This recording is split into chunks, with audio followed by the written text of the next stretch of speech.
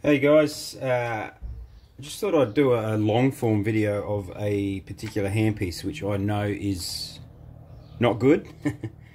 it's really uh, gone to the extreme of being really stuffed and just to show what can happen. Now this guy that's given me this handpiece is a friend of mine and he's a farmer and he just crutches and crutches and crutches with this thing and um, generally when they use these sorts of handpieces um, on the crutcher machine. They hang them up like that and then all the dirt's going down inside the um, inside the fork and the race and starts wearing everything out. So this was a good example of what can happen to a handpiece. When it's in that situation there's a lot of crutching trailers in that around now that are like got the same sort of system where you hang them up. Or um, they'll just keep them running so they'll just keep running and running and running and they're not getting oiled. So they could run for half an hour con consistently without even a stop, just crutching sheep in uh, sheep handling machines and stuff like that. So this is what can happen to them. Okay, the first thing I will look at is, I'll turn it over and I'll have a look at the chicken feet. You can see here, it's rubbing all the way back here. There's not even meant to be a rub mark there. So that's just showing you that these uh, chicken feet are absolutely gone. That's really sharp. And you can see there's hardly any pin left there. Um, next thing is I'll turn it over and then I'll just give it that if you haven't uh, watched our videos before on how to check this stuff in the shed is you just grab the fork and just move it forward and back like that now look at the movement we've got now if that was a new handpiece there's nothing so there's a lot of movement there. And then the third thing I'd do is undo the tension nut and just to see whether the pin and sleeve is really worn out. So I'll just take that out. And oh, so the whole tension nut bushing screw, which is what this is called, is jammed in there. Now that's caused by one, not getting tension. So you can see that the pin here is actually round, not good. Um, so what happens is when you get no tension, uh, you screw the tension nut down hard, hard, hard. Now this has gone all the way down as far as it can go and then got extremely tight and then it's undone this bushing screw here. They're only held in there by Loctite. So if you go too far and it's too hard, it'll actually undo that, which is what's happened. So this is going to be an interesting uh, fix-up, I think. So to try and get this out is going to take some work um, we're going to need some nylon or something here to be able to grab that because if you use anything like pliers or whatever you'll just damage the thread and then yeah then it's totally buggered. Um, so I'm going to have to try and get some nylon. I can't jam something in here because the actual sleeve if you can see that this, the tension sleeve is inside and that's spinning. If I can get that out I might be able to jam something in there and try and undo it but this is uh, the first step I guess Okay, I've got that out. This is how I did it. I just jammed some old plastic in there with a, I don't know, an extension. Jammed it in there and it was actually suctioned in there with all the oil on that in there. So she took a bit to pull out, but uh, we've got her out. Uh, the next step is to try and jam something in this part, very similar to what I've just done here. And uh, see if we can undo that. Well, I finally got that. Uh, just used a vise with some uh, nylon in the vise and, and, held that. So we've got that and we're undoing that out now. So we're getting somewhere. Okay so we've got it out. As you can see in the tension nut it's got a nice bit of a wear spot there. But by the time we uh, finish this we can still get away with using that. And there's the the old thing. It's pretty cruddy but we'll clean that up nicely. Okay next step take this oil cap out. I don't know if any of you guys have seen these, but these are a uh, magnetic bowl. See that? You can just have your stuff there, put all your parts in there, and you don't lose them. And then when you're done, you can stick them up on the wall. So these are a good thing. I think we got these from Repco or something. Probably worth doing if you've um, if you're going to do some handpiece parts and that, just so you don't lose everything. Keep them all in spot, and if you knock something over, it all stays in there except for the rubber cap. but I will put that in there anyway. Okay, next thing, we're going to pull the back joint out, so we'll we'll take the uh, ferrule off if I can. Yep, it's nice and loose, it's easy. So the old trick, if you've watched my other videos, just jam up the uh, fork with a screwdriver, jam up the cogs, and we're going to go pull. There we go. That cog there is undone. And then we're going to use, um, we've got three screwdrivers. We're going to keep them jammed up. We're just going to use the set of shifters. As you can see, it's a pin driver, so it's sitting on a flexi drive all the time, this one. So that's why I know it's um, done a lot of crutching. Those that have got flexi drives and using worm drives, not ideal if uh, you know you're working outside in the yards because you'll find that the um, worm drive will uh, fall off all the time. And then you'll be your drive or your flexi will be in the dirt. Not ideal. So pin drive and the reason you can still use pin drive is because Heiniger has the safety switch in them so that if it does lock up, it's not going to affect the pin drive and it won't keep running. Okay, so we've pulled the cogs out. Uh, considering how bad some of this other stuff seems to look like the cogs are, they're shot, but they're, they haven't locked up or anything yet, so that's a good sign. Okay, so now that those those are out, I can just pull the back joint out. There we go. Oh. Now that's telling me the bearing is absolutely shot. Good way to tell um, if everything's buggered. Like if you have a look at this, look at everything's just, that is shocking. Um, that bearing is actually not even running. That is, well, that's probably one of the worst I've ever seen. It's nearly touching the side of the barrel. Jeez. Okay, so we're going to take the fork and stuff out now. Um, just to get these pins out, there's a little ledge just in here. You can actually use your thumbnail and pop them out like that. Now the only thing that's holding that fork in now is this screw. It's called the fork safety screw, which only allows it to go up so high. But because this post and cup, I'm guessing, is extremely worn out, there's a lot more movement than normal. So we'll just open uh, or undo this screw which is nice and loose, which is good. Try not to over tighten these because when they're stuck, um, if you don't know the little tricks of the trade, you won't be able to get them out and you'll ruin the screw and then it's really hard to get them out. So that's all it is, little screw like that. Now the whole lot will come out, the ball and race, everything, we just lift it up over the post and pull it all out, give it a jiggle. So the ball's still in there somewhere, there it is. Now I'm going to turn this over. Wow, I don't know if you can see that correctly. But that's almost worn out the whole cup and almost resting on the, the fork itself. Uh, turn it over here. Ooh. Right, so you can see this. So this um, which is generally what happens with um, these sort of handpieces when they're on out in the yards. I don't know if you can see that properly, but it's actually gouged out uh, the the lighting's not over good. Oh, you can see it there. You can see where the ball has just been smashed down in here, and the same thing will be up on that side on the top. You can see it there, like unbelievable. So not only is all the other parts buggered, but so is the fork. Now to replace a fork, you're looking at around $180 just for the bare bones of the fork. So uh, it's just lucky. I'll have a second-hand one I can sell him, and you see the difference. So if we put those together,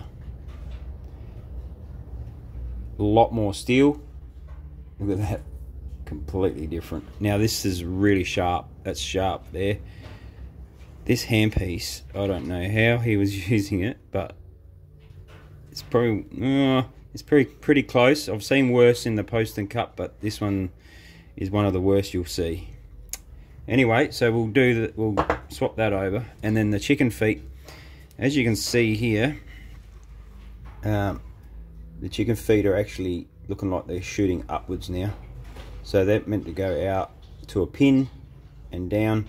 Well, that's shooting up because, and then all the pressure on the cutter is back here now, where we need it on the tip. So it wouldn't have been cutting overly well. It wouldn't have ran well at all. No wonder he rang me. And uh, and I think this is only from a season or two. So he does a lot of crutching and a lot of sand in his area. Um, so that'll do it every time. But yeah, there's a lot of oil in there, so he's obviously oiled it. So it just doesn't matter what happens. If there's sand in there, that's what's going to happen. All right, so we're going to take take the center post out now. This will be interesting.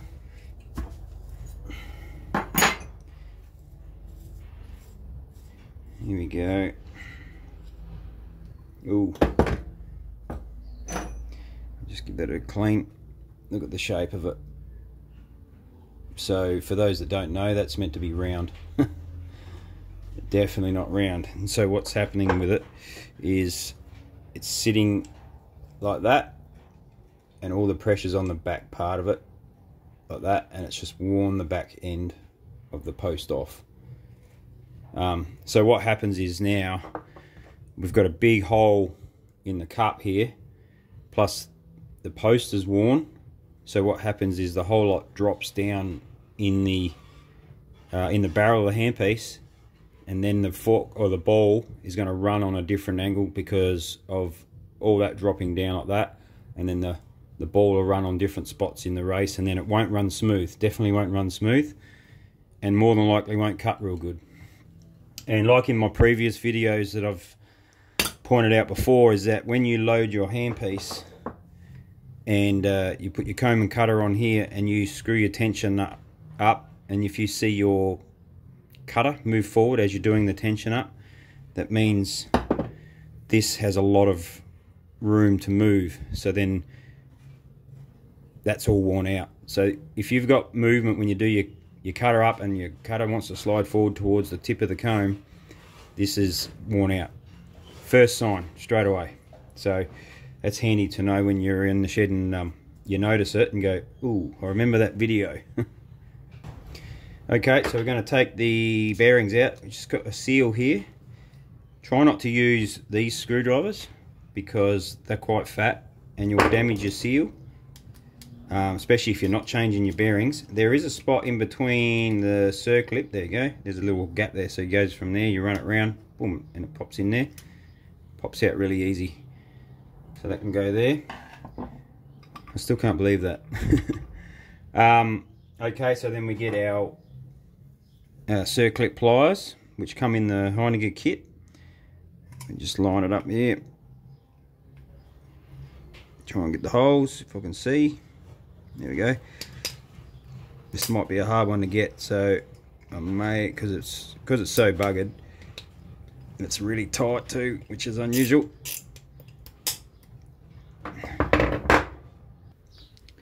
So I've pretty much got it out. Um, what, what can happen sometimes is the sleeve inside here uh, can get pushed up against the circlip and make it really tight. So something like this, it's been rattling around so far, it's made this, the sleeve push back really hard on this one. And uh, the circlip's stuck. So we got it though we, by um, a bit of a trade secret how to get that fixed. It keeps slipping out.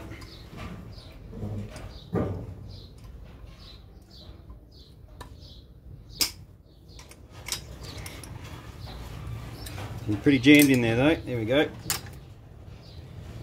Now that one there is buggered. Get rid of that. You can see it's bent. So we need to make sure we put the new one in. Next step is uh, using our punch, which you get in the kit. So down inside the, the barrel, you'll see the crank head. There's a little uh, hole where this punch goes into and we just hold like that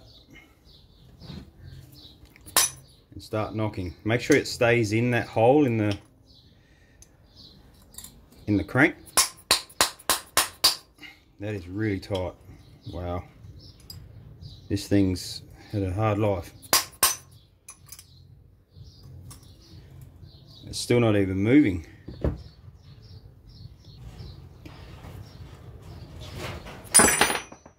There we go. That was one of the harder ones I've had to knock out. Okay, here we go. So this is the sleeve. So it's basically a spacer between um, the circlip and uh, the front bearing. So you have the sleeve that comes off. Then you have what they call the wave washer. You'll you'll know it's the wave washer because it's wavy. And then you have the bearing. Have a look at that. Unbelievable. and it's just not even doesn't even feel like a bearing anymore. It just feels like steel on steel on steel. Okay, so in your kit you'll have one of these. So that's where the the uh, crankhead goes into and then you'll have this one so one end's got a big end the other end's smaller and it's got a thread inside the thread goes over the crank and it screws on like this now pays to uh, get a you know a bit of wood or something. One thing you should be using is nylon hammers. Don't use steel hammers. You'll wreck all your tools. You'll just round them all off and then nothing fits into anything. And two um, uh, wood doesn't give it such a hard impact. There is times when we need either cement or a steel anvil or something but this time we won't. We can do it like this which I'll do for this purpose there we go oh look at that it's just exploded the bearing that is unbelievable I've never had that before. As you can see, they are a double row bearing. Holy moly. Very interesting. So that's going to take a bit of getting off now. So um, I've done this before. Best way to do it is I'll rip these um, bearings down and out and off and heat that up and that'll just slide off easy. So once, if you heat that up, um, this part here expands and then is easier to slip down. So I'll uh, have to do that. Uh, so as you can see, I've taken all the the bearing and yeah. So here's all the the what they call the seals, which holds all the or meant to hold all the grease in. You can see that's fried. It's all broken apart. There's the guard, so that's in behind the seals. Holds them. And there's your little bearings. So basically when you can see the bearings there, the holders are really, really loose too. So that's where you get that um, up and down movement with your, with your bearing. And um, they are a double row. So um, sitting like that, just full of grease. Uh, crank goes through there. That's basically it. Now that's how bad it is. That bearing's just falling out one of those little. Put that in there. Yeah so very unusual. These bearings are pretty well made. They're expensive but pretty well made. Um, yeah it's very interesting. There's the outer casing. And have a look at that. It's actually cracked. I've never seen that before. Never seen that. So we're all learning something today unbelievable okay I better get to heating this other part and uh, get that off Okay, got that off. Used uh, just a blowtorch. That part's in the bin. Okay, here we go. Um, next, what do we got? Okay, the back joint. So we have a look at the back joint. We've got sideways movement, so I'm just pulling like this. Um, one thing about this, the back joint is actually in good condition because the hinges are quite thick. So that's good. So there's a lot of, um, what do you call it? A lot of thickness there to be able to keep, uh, to rebuild this back joint. It's not a big job. I'm guessing the bearings are shot. Um, best way to tell, you grab your pin drive or your worm drive, clean that up, put it in the bearing, and we give it a wiggle this one shot. So what you do is you give it a wiggle. That's not all you do. You give it a spin.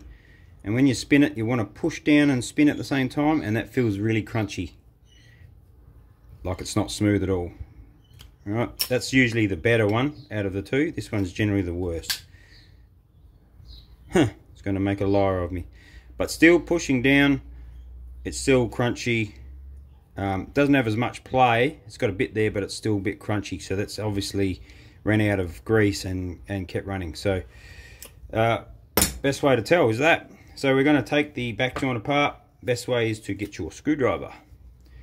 Grab those parts like that and squeeze and then we're going up like that. So get it underneath that spring. Up like that and then push forward. Same on this side get it underneath and then push forward. They can be quite tricky if you haven't done many. And if they're like this one I think they've worn a groove in there as well. So we're getting that up. There we go. Then we just go round and slide him out. Caps. As you can see uh, we'll be able to show you as we install the other parts how the difference in thickness here. These are quite thin very thin here. So um, that's where the play comes in as well. They've thinned out to where they used to be. Um, so throw them in there. Look at this one. Oh she's got a big dent in it. This poor handpiece okay now the back joint cover just slide that over there and then unclip it there and then it will just all come off and then we're left with just the bare back joint. And you just close pull. That's it. You can't put them in like here. Can't put them back. They've got to be right back over this way. Where are we? Line them up. And then down. So it can only go on one one spot. Okay let's take that off. So we're going to knock those bearings out. Very simple. It's just this this part you punch that's what this ledge is for. Um, that's just to slide in there. Try and keep it clean because um, all the grit net this can jam in there a bit. And uh, just grab my hammer. And you can hold it like this. They're not that hard to get out. But this one is of course because everything else is shocking. So I'm just going to use my bit of wood.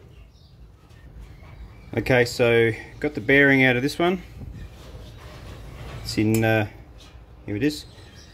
That was hard and you can see it was hard to get in. It's got some nice yeah scratch marks in there which shouldn't really be. That was one of the harder ones I've had to take out. We'll see how we go with this one. Grab the punch. See if I can do it here. You can hear it. Changes the sound. And there we go with all the yuck. This is why this is one reason if you guys want to get your handpieces rebuilt and uh, sometimes people want them pretty quick we'll have to spend 10 15 minutes just cleaning them. So hence why we we charge a little bit to do it because sometimes we get them in like that is just not ideal for me to work with. So I'll have to clean all this in a minute once we've ripped it all apart. Um, so obviously with this fork now um, we're not going to use any of this. We're just going to use this other second hand one here. So that's going to be thrown in the bin and never to be seen again. So goodbye.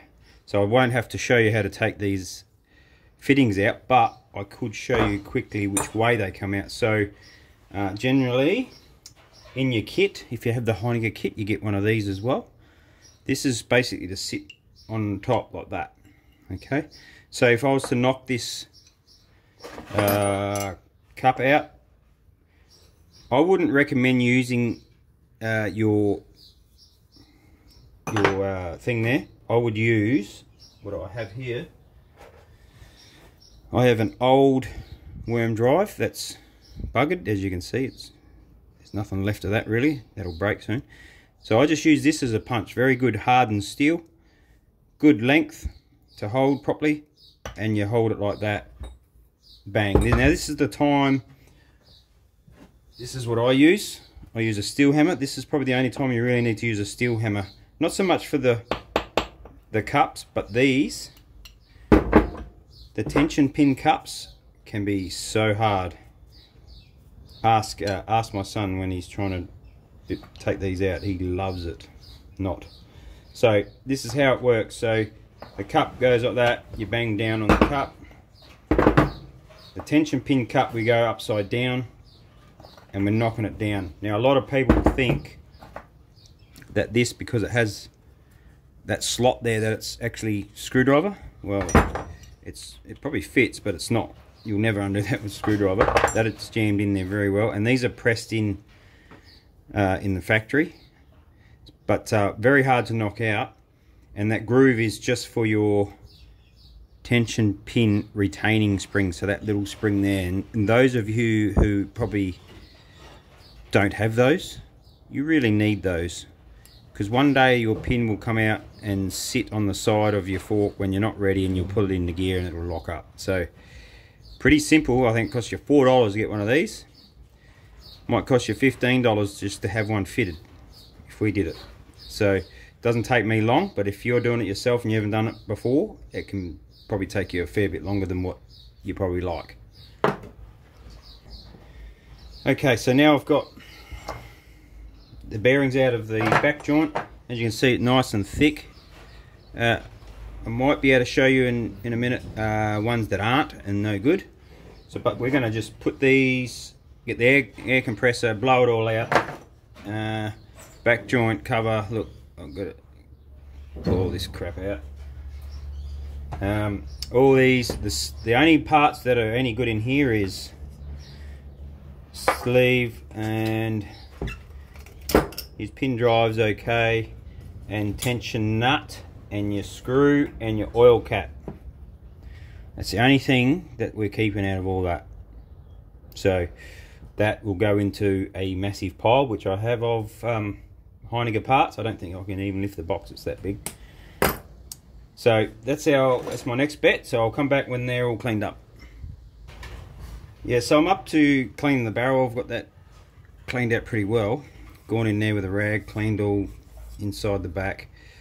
But in here we've got to get rid of all this oily residue so that we can um, put uh, the tension nut bushing screw back in and Loctite it. Whereas so if it's too oily, the Loctite won't uh, take. So what we're going to use is um, brake cleaner just cheap old brake cleaner because what it does is dries with no residue.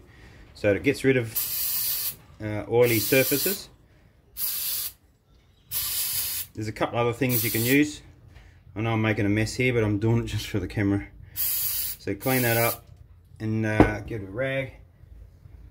Just give that a bit of a clean.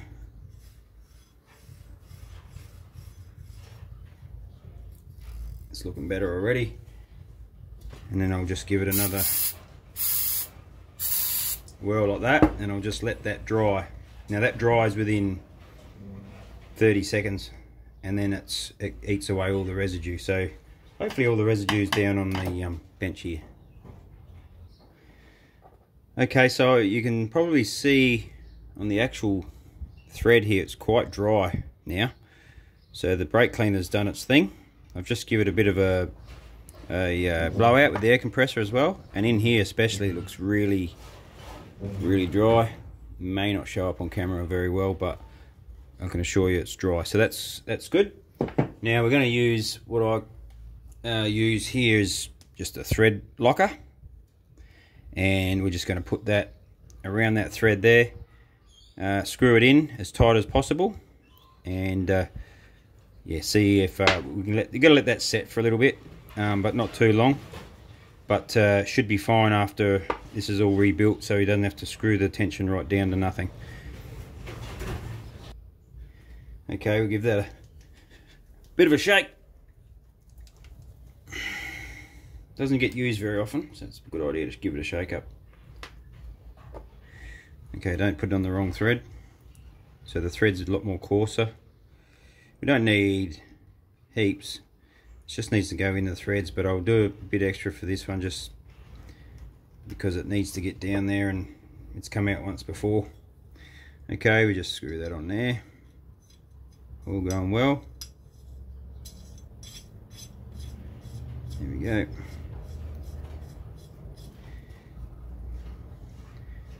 Now I'll just get some multi grips if I can. What I might do first, before that, I'll take this um, tension spring out. Pretty simple process.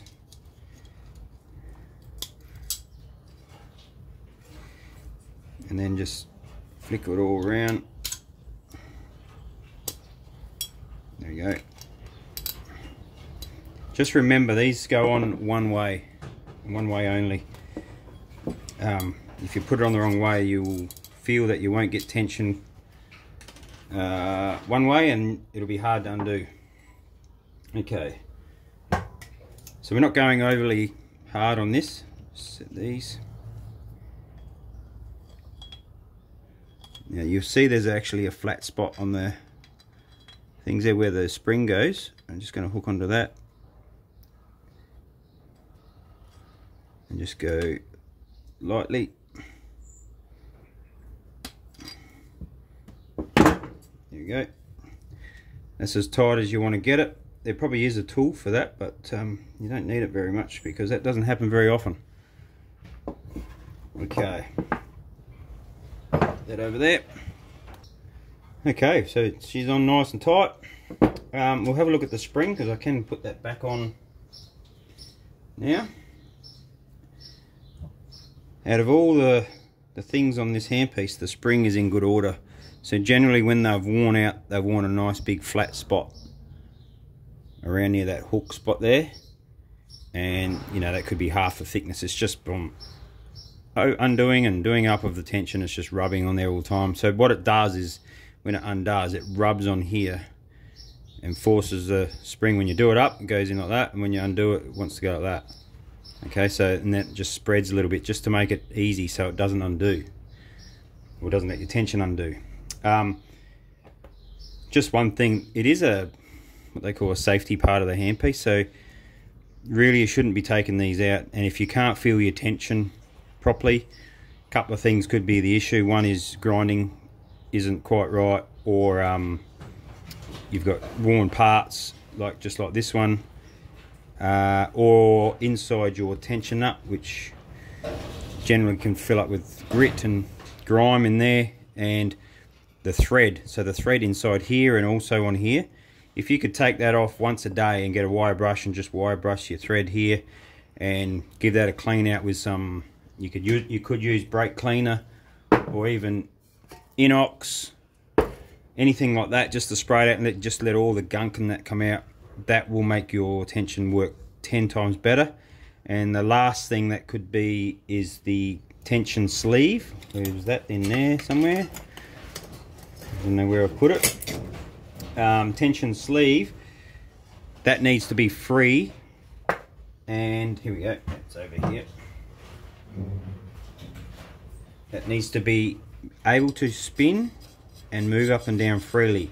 If that's jammed with grit, you won't feel your tension and then you'll be carrying on what's going on. It's the handpiece's fault and that generally it's not. Now, a lot of the times with handpieces, unless they're worn like this, there's not a lot that can go wrong with them unless they haven't been maintained. So I say if your grinding's correct, you've maintained your handpiece regularly, then you won't have any issues with um, with your handpiece. So these are little things to check out. That's the only thing that um, people sort of don't realise because it's not something we're shown really. But that's that really needs to be free and, and loose in there with lubrication. So some really light oil or inox, something like that okay. Okay. So as you probably seen I haven't haven't come across many things that I haven't seen before but this one's a good one. Um, you're always learning. You never know. You never know everything ever. Um, what we're going to do now is just go through the parts. I'll just grab those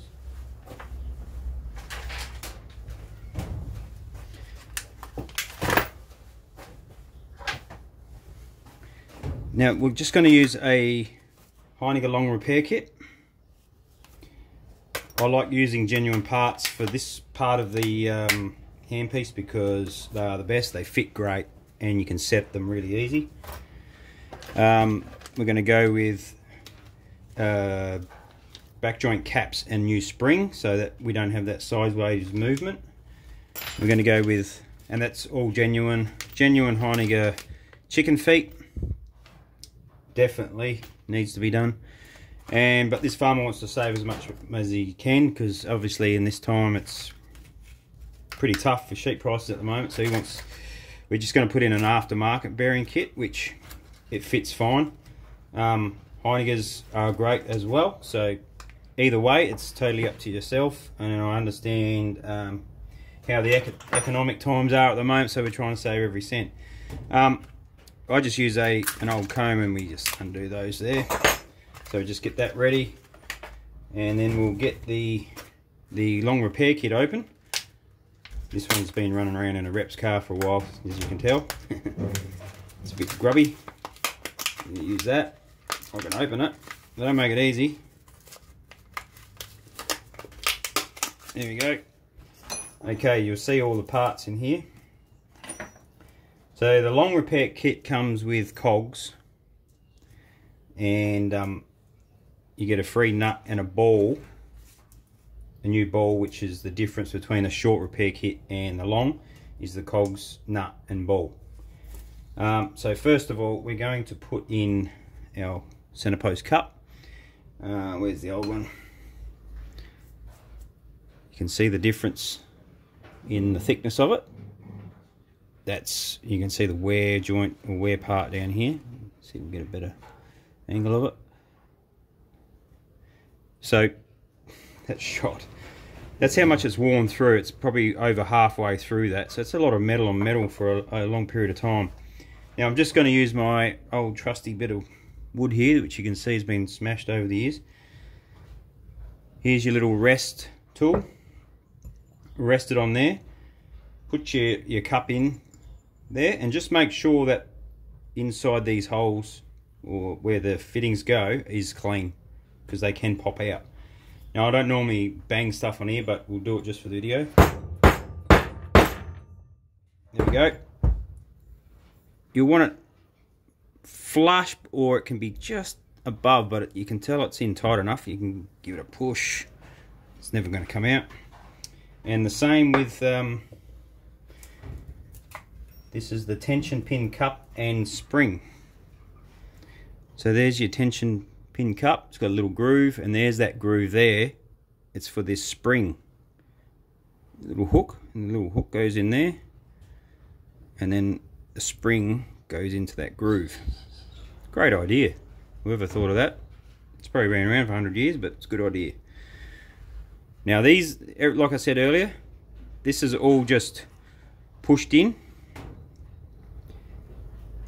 Right, now the other thing we need to do is make sure that this is dead straight.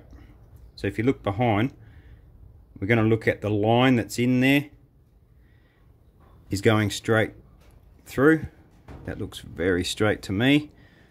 Right, give that a good whack just to set it.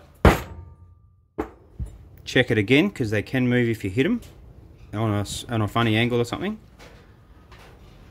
and then you give them a good couple of good whacks. Okay, that looks pretty good to me. You can see that looks nice and straight. Turn it over, the lines nice and straight through the through the middle, and the springs in there perfectly. So that's done.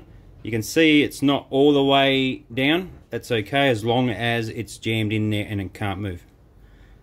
Okay, easy. Okay, that that's all done. Now what I do now is I'll fit the chicken feet. Same thing, get an old comb and this takes a lot of my time opening little packets all the time.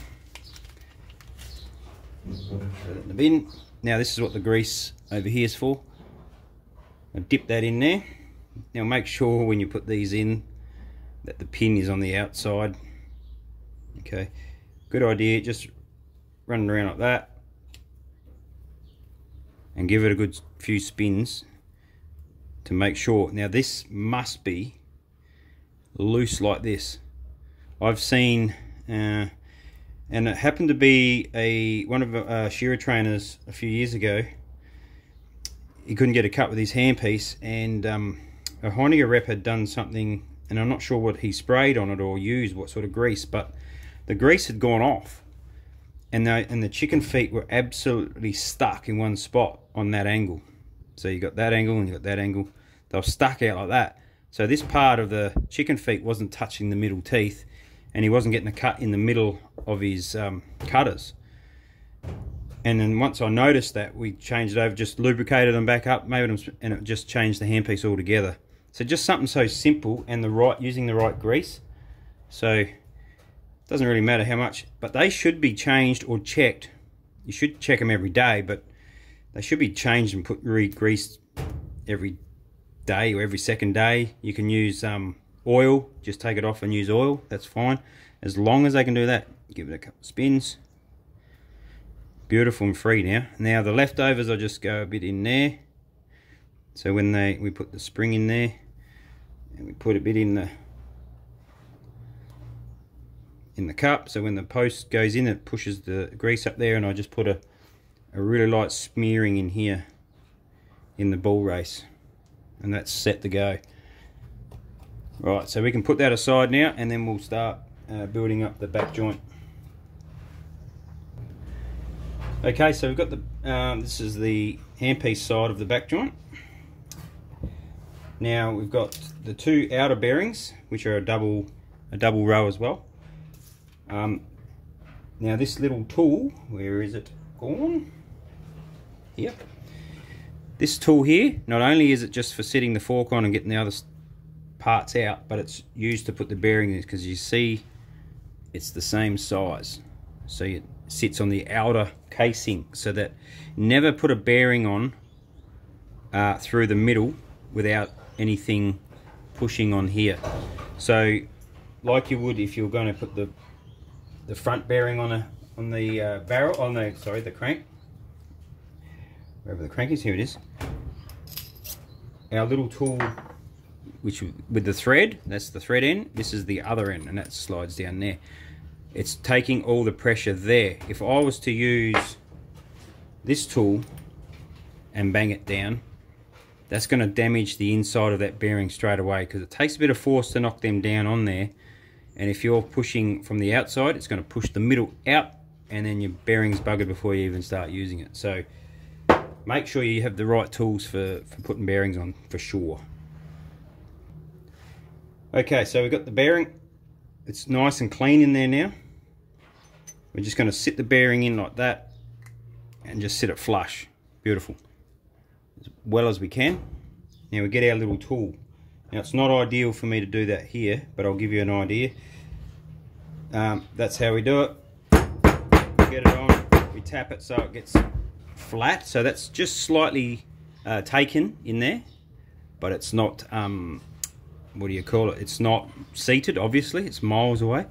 But I need to go over to my other part and just belt that down and get it flush. Make sure, very, very, very important that you actually hit these all the way down till you feel that it can't go any further. Because if you don't hit these far enough in, you'll have what they call bind up and it binds everything up and you won't be able to use your handpiece. You will have no turning. Okay, so just a little tip there. Okay, so we've just seated that one. As you can see, there's not a lot sticking out. And uh, I'll just have to go through and do the next one. Same, same deal. Make sure it's clean inside. Sit it there nice. Just push it just a touch. I'm just going to seat it a little bit.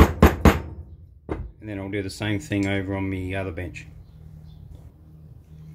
Okay, all done.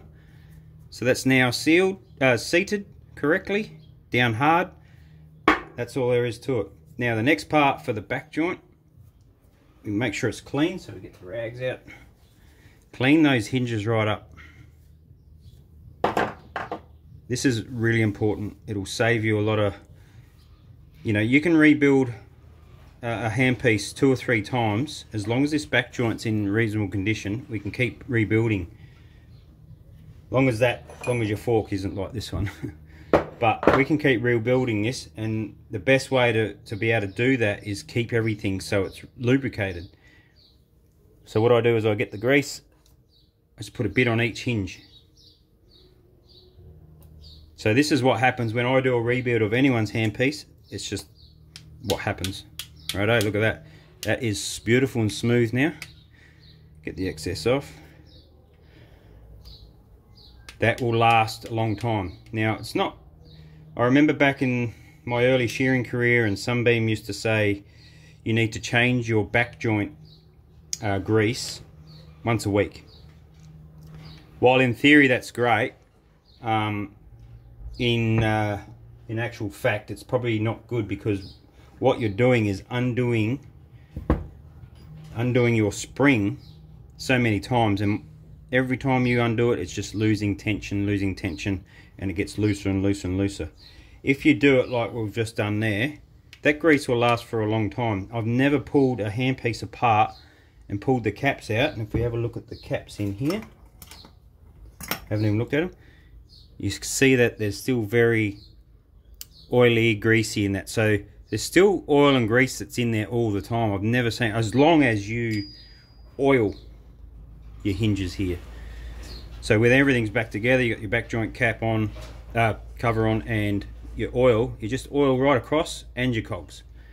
And that just keeps the oil dribbling down into here and keeps them in good nick. It's when you don't oil these hinges at all um, that's when they start wearing because yeah that may take I don't know may take a couple of years for that to wear right out but I've seen them wear out in less than a year from people just not oiling anything especially cogs. So if the cogs get oiled at least and you can put a lot on there when they spin they spits the oil out and goes out in through into your hinges. So at least put enough oil on your cogs to um, to help with that. Okay. Now I'm going to get the back joint cover people get um, tricked on which way they go. Easy. So the bit that's got the long part goes forward and the part that's the fattest end goes on first. Like that. There we go. Now we need our caps. So we'll undo these out of the packets. Okay, we've got them undone. As you can see, beautiful, new, uh, no wear if you have a look here looks completely different. And you can see on this old one it's starting to groove uh, in here where the spring's been running the whole time. So this part this round area here gets smaller and then slops around in the spring here. So that's uh, that's another issue. So all these little things add up. So if you don't look after these parts or replace them then yeah, it's not, not ideal. Okay, so next thing I do is I fill, well, three quarters fill these with grease, so I've got that. One there. Now we put grease into the parts that um, you don't generally get grit into because otherwise if you use grease into, on spots where um, where it's open to all the dirt and grime coming in, then it will turn into a grinding paste and waste everything away twice as quick. But these places generally don't see any um, dirt inside them, as you can see. The original grease is still on the ends in, in that cup there, and the rest is just oil, so and it's clean. Oily colour, but it's clean, there's no grit in there. So the only reason I put um, grease on those parts when I like the fork and in here is just in case when someone takes uh, takes their takes delivery of their handpiece after I've rebuilt them. It's um, same as when Heiniger send them out brand new all these parts have grease in them. It's because to stop the well what do you say the idiot factor people buy these and just use them and don't oil them. Simple as that. So if we grease them at least it's got some protection for a while for people that don't oil them so that's why I do it. It's just more of a make sure that, that everything's right. Okay, so I'm going to put the caps on. And you'll find the grease, I'm just pushing down and the grease is forcing through into the hinge, which is good. Same on this side. Okay, then we get our spring, we go back in through there and out the other side like that and then we just roll it over. And this one's going to be a tight one, I can feel it.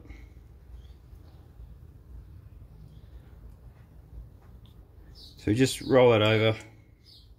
Now I hold the base like that and just you get that on the ledge. Just sit it on the ledge of your your cap there. And we get our screwdriver, trusty screwdriver. And we slide that under and we're just going to lift that on the ledge. And there you go, that pops on. Same thing on this side. So I'm just going to slide my screwdriver underneath, get into the hole. I'm just going to pull up, lift on. Now it's lifted onto the ledge. Slide it underneath, lift on, bang, and then I just whack it. Bang. All done. Beautiful and tight. Very tight now. Absolutely no movement. Full of grease. We'll just get rid of that extra stuff there. That joint is ready to go. Now, next part is we're going to put the front bearing onto the crank. Okay, so in your little kit you get, Heiniger and, and this one are both the same, have the same things. So there's the new wave washer. Uh, now, the first thing that goes on is what we call the distance washer. That's just the flat one. Okay, so that needs to go on first. And as you'll see here, there's a little ledge there. Don't make, just make sure, I've learnt from experience, not to have the washer there when you knock the bearing on because then the bearing jams the washer in there and then you'll have to try and undo it all to get that washer off. Okay, so just a little heads up. So we put the bearing on now. We get our little tool. The end that's more open and that slides down to sit on the middle of the bearing. I'll see if I can tap it down a little bit with this one. Notice I'm using the nylon hammer.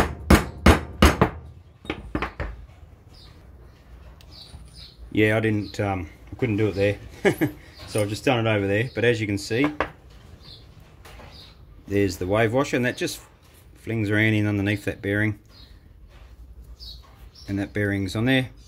Look at that, no movement, funny. Okay, first things first now. We'll just clean that up, make sure there's no grit on there. Because it can get gritty doing this job. I'll just move this out of the way.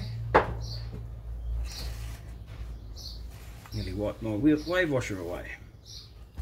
Okay, so we've got the handpiece barrel now. You need to make sure that's clean. So I've already give that a good clean in there with finger, but I'll just put that in there and just clean all out there where that bearing's going to um, sit. Okay, so in we go. Just put the bearing in. We get our special tool here. This is what this ledge is for, to tell you how far to go. But I'll show you a little tip. We'll knock that down. Just keep knocking around it. Don't go bullet a gate. Now you see I've left probably a mil and a half, two mil. Could go a touch more, just like that. That's the secret. If we go all the way to the barrel, yeah, to the barrel, then um, what can happen is the bearing may go too far. And same thing as I said before, um, is that the bearing will do what we call the binding up and pull everything tight and then you'll have no no um, what's the word? You won't be able to turn the handpiece. It'll run it'll run smooth but you won't be able to turn it. It's all jammed up.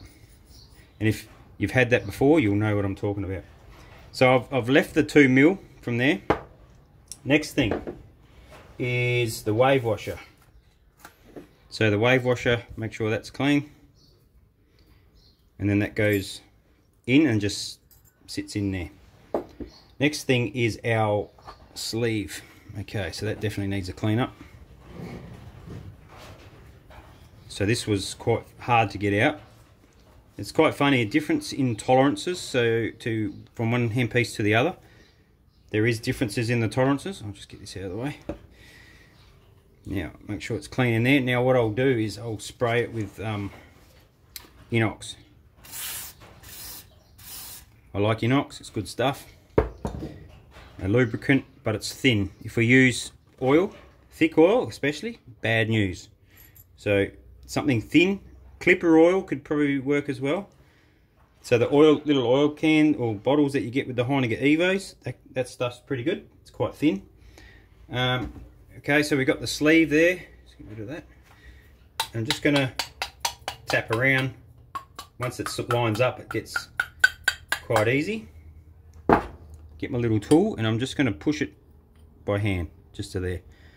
And you can see I've got a little rim here. Next thing, the circlip goes on there and I'm going to just sit that on there. So I'll squeeze it in, push it on. So you can see it's just on, but it's not, not actually in properly.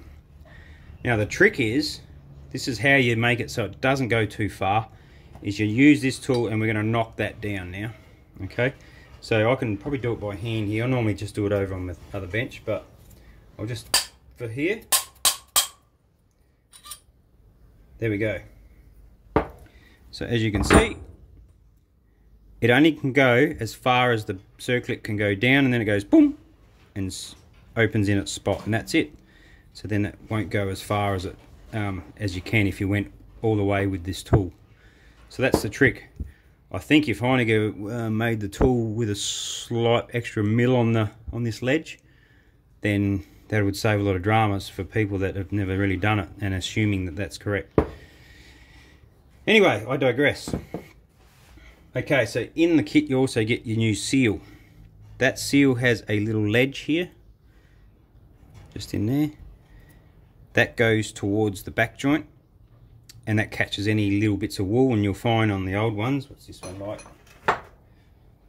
It's actually, oh, it's not too bad, but generally that little groove is full of wool so you can get a little screwdriver and then just pull all the wool out if you're going to use the old one. Sometimes it's good to use the old ones again because that stiffness when you buy a new handpiece is generally because the seal's tight and it takes a lot of moving around while you're shearing to start wearing that seal in to make it loosen up. But there is a trick you can do before you put it on to make it looser. So if I was to put that on this back joint now, you'll see always that in first and that's quite tight. And if I get that on there, all right, I can feel that's tight to turn. Okay, so a little trick is I'm going to put my fingers in, I'm going to grab the ledge and pull it towards me there and do the same thing there. I'm going to stretch it a little bit and just roll it round. Let's see, here we go. Look at that. Completely different. Okay, so I'll clean that up. Again, inox. Good stuff. And then put the seal on. Look at that, beautiful. And should be a lot freer now to um, use straight out after the rebuild. We don't want stiffness if we can help it. Okay, then we're going to put that straight on. Might need a little tap, and there we go. You can see that it's it's all in properly. It's a lot freer than, say, a new one. You can generally tell if you've got a ferrule on or whatever and it just drops, even without one it drops. It's quite loose for a, a newly rebuilt handpiece. Okay, next thing, in our long repair kit we're going to use get the cogs. So I'm just going to jam a screwdriver in at the crank. And we're just going to screw the cog on. Pretty basic.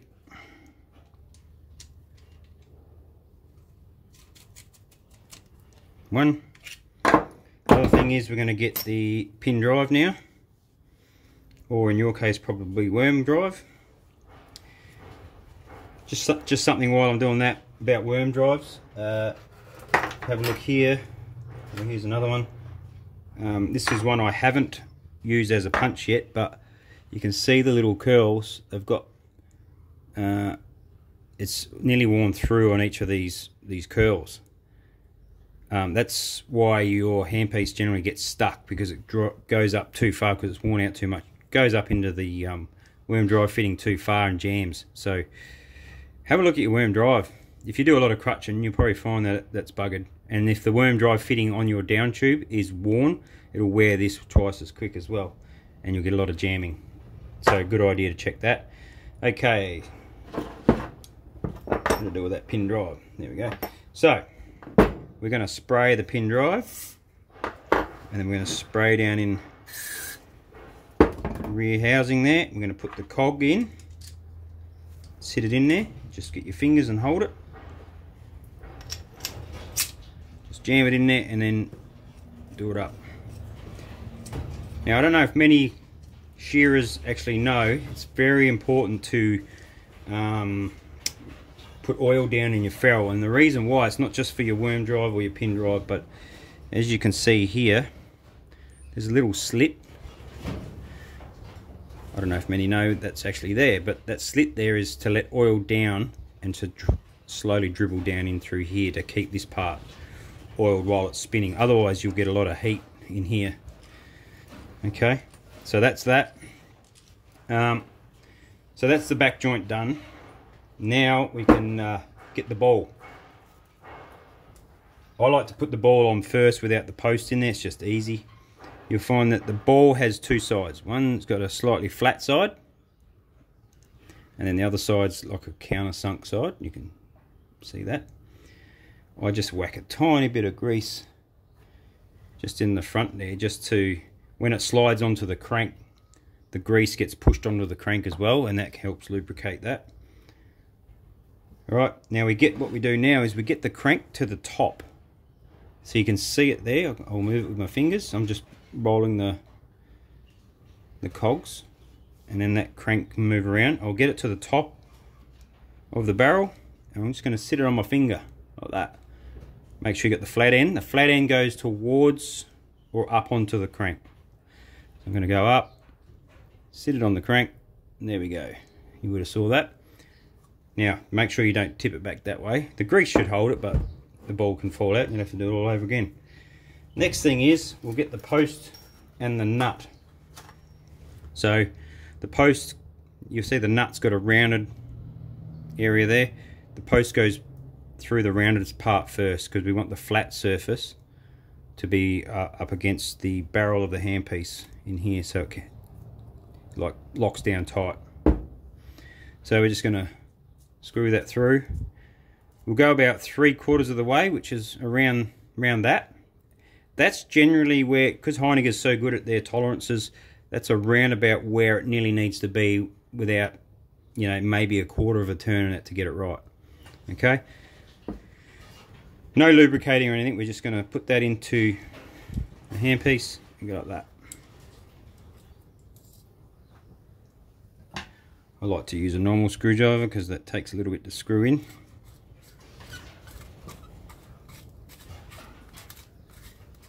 Rightio.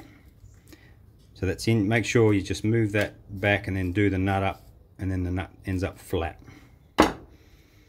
Next thing, we want the ball so the ball was at the top of the race. Now we want it to the bottom. So there's the top. We want to move it around and get to the bottom. Then we're going to grab the fork that we've done before. And we're going to slide the fork in and then this part, the race, is going to go over the ball. Slip up and over the ball. So go in, over the ball. If you can see that in there. There it is in there, and that's on. The only other thing that holds it on there is our fork safety screw, which is here somewhere.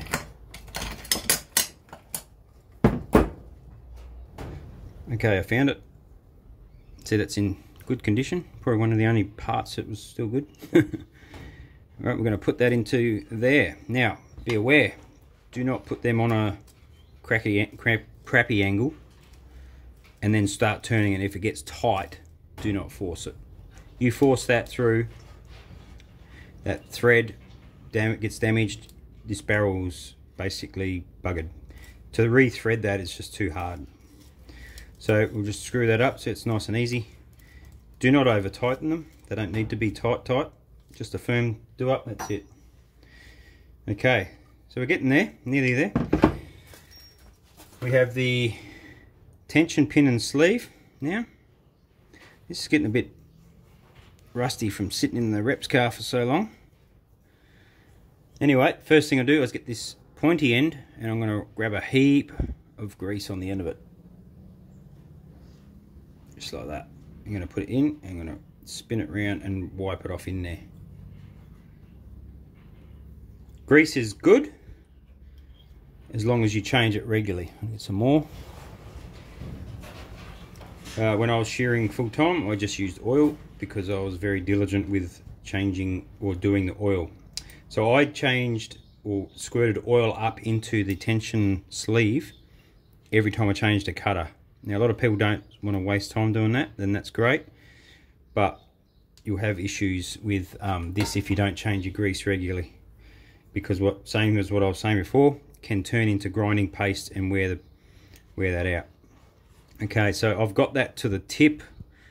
You got to remember, there's only that little tiny tip there. You can see there's no grease on that now. So if there's no grease on that and it's not changed regularly, that's not getting lubricated anymore. So you need to make sure that there's grease on that tip all the time. Or oil. Or I liked oil because it just, everything was um, cleaner inside but each to their own. Okay, so I've got that greased. I'm just going to spray down into tension nut bushing screw and make sure it's nice and clean. And there we go, we'll put that in there. Now you'll see that the pin is here. I'll turn the handpiece over, bring the pin forward, and I'm just going to grab it and I'm going to sit it on the tension pin cup and then the spring and then I'll just be able to push this and it will click in. There we go. Beautiful. Now, I could near bet my bottom dollar that if that handpiece before we rebuilt it, if we pushed this down in that situation there, that would have been inside. This sleeve would have been down in here. It was completely different length. It had been worn so much. Okay, so we've got that. Now I can really spin that, but there's still a little bit of crap there, so I'm just gonna spray it, get rid of it. Now it's really nice and free. That's really good. Okay, so I've just cleaned out the tension nut. Give it a wipe with the rag, then sprayed inox in it, and then just tipped it all out so all the um, bits of sand and everything can just disappear into the bin. I'm just going to put that on. This is all nice and clean and very smooth now. And now I can feel the tension it's a bit stiffer to undo, easier to do up. Okay, the next thing, which isn't too bad, we'll clean up these screws. I don't think they're too bad to really need to be replaced. They're a little bit worn, generally full of crap here. If you're ever going to um, want to use, if you ever want to use these screws, um, make sure that you're you undo your comb as soon as you finish shearing with it so everything's warm and you can fit in there and then everything will undo easier. If you wait till it's cold, it's really hard to get undo and then you'll start really chewing out your your um, screws. So there's a little tip for you. Undo everything as soon as possible. So I'll just give that a bit of a wipe down. These actually do a lot of a lot more than what people think, so it's a good idea to make sure your screws are right recently I had one come in and they'd broken the screw into the thread. We had to get that, that out to actually keep going. Okay, that's good enough. Now, good idea to spray it, a bit of inox into the threads.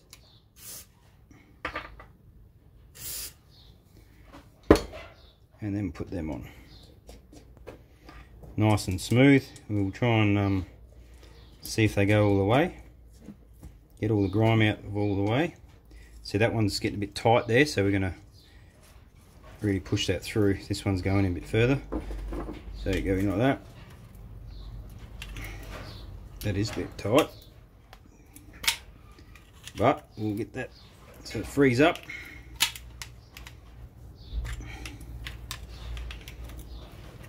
Amazing how much grit and stuff gets built up in these things.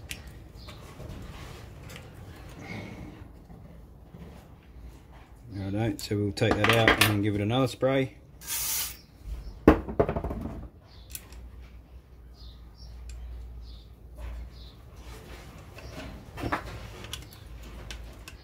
Righto, that's a bit better.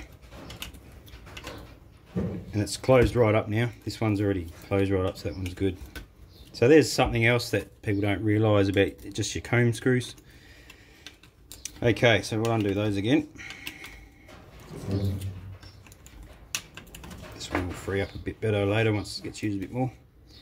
Okay, now the tricky bit. So we can spin that with our pin drive, make sure it just feels smooth. Do it when it's upside down because when the fork's down like that, um, if you ever if you've ever had a comb and cutter fall off while you're shearing, you know what I'm talking about. It just sounds, it's very rough. okay, so what we have is just a plain old comb, preferably a thick one so it doesn't flex when you do do the tension up. Doesn't need to be set up properly, just needs to be a flat surface. So screw that up. You can buy blanks, I think. I've seen blokes have blanks for these. So it's just a blank piece of steel with the same things and um, it does the same job. Uh, right, now, cutter. So you'll get, if you buy a kit, like a Heiniger tool kit, it's got all the tools and it comes with the, um, the 3 mil cutter and the setting gauge, okay? Very important. This was designed for a reason and um, make sure you use it.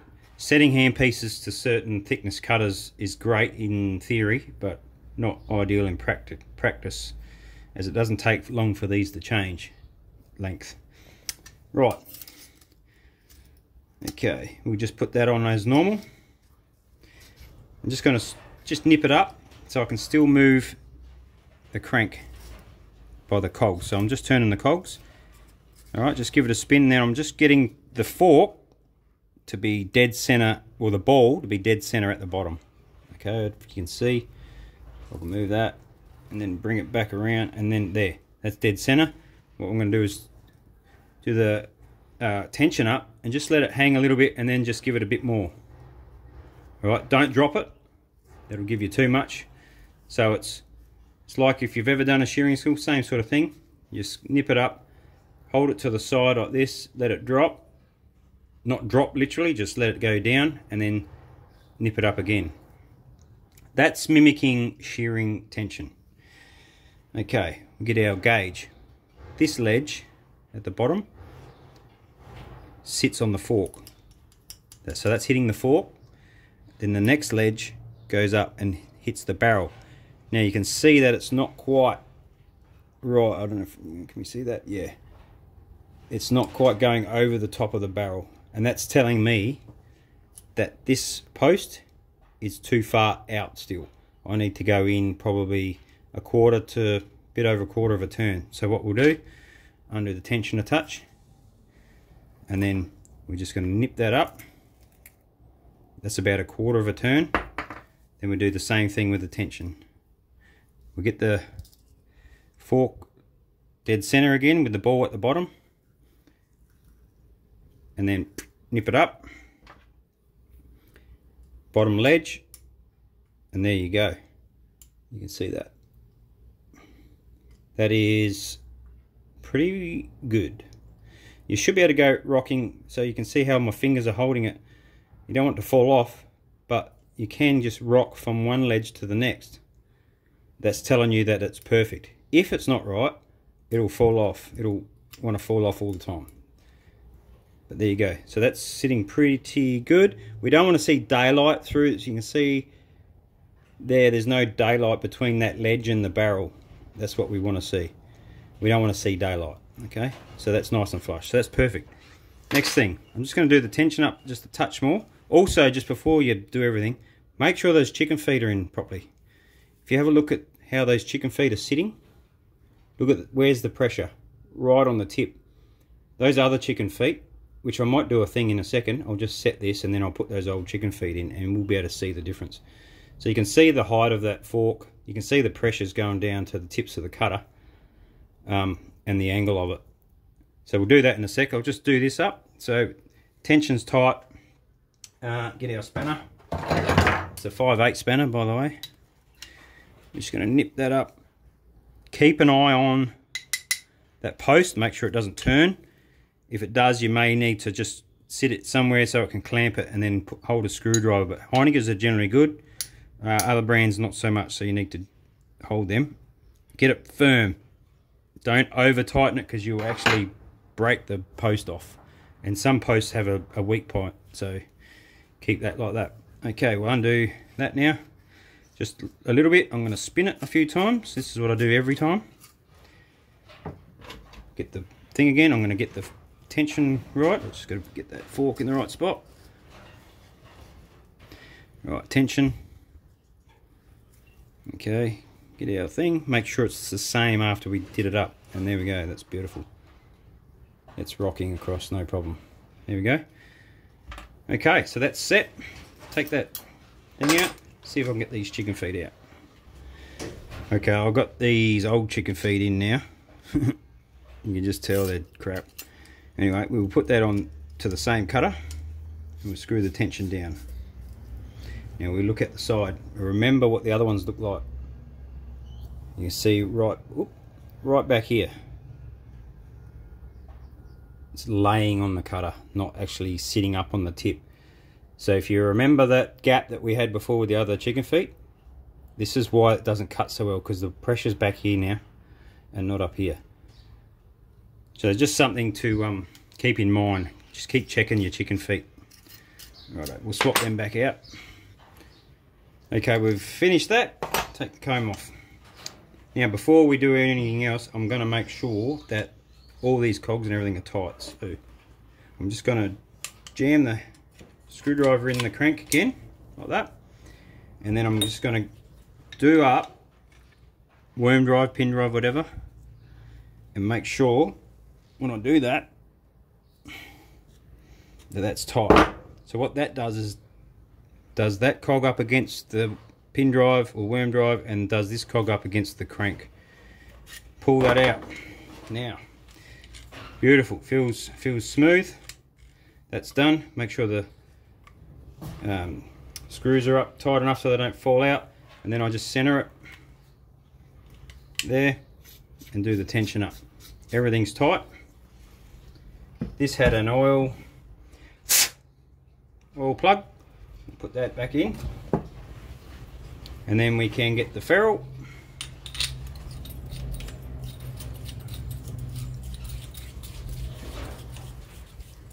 Do that up. Just do that. You don't have to go too hard. And we are done. Officially done. And the farmer will be a lot happier now so there you go guys. Hopefully that um, hopefully you learned something there. Uh, I did too actually. Didn't realize a handpiece could get so broken down and um, and still be usable. Well I don't know if it was usable but now because the back joints were in good nick and I had a second hand fork we're able to get out of trouble. But hell of a lot cheaper than um, doing or buying new handpieces I guess but it's knowing how to do it properly is the key. So if you do want it done and properly give us a yell at World. We'll um, we'll sort you out even if you want to send them through. We do them I do hundreds of them I've done I don't know it'd have to be I could be close to the thousands. After working with Heiniger for a few years and and then training for so long I've done lots and lots and I've seen lots and lots and it could be something you'd rather do rather me do than yourself but uh, there's only one way you'll learn and try it yourself but we got all the parts and uh, you can get them from us online or in the shop. Thanks fellas. Ladies have a good one. Happy shearing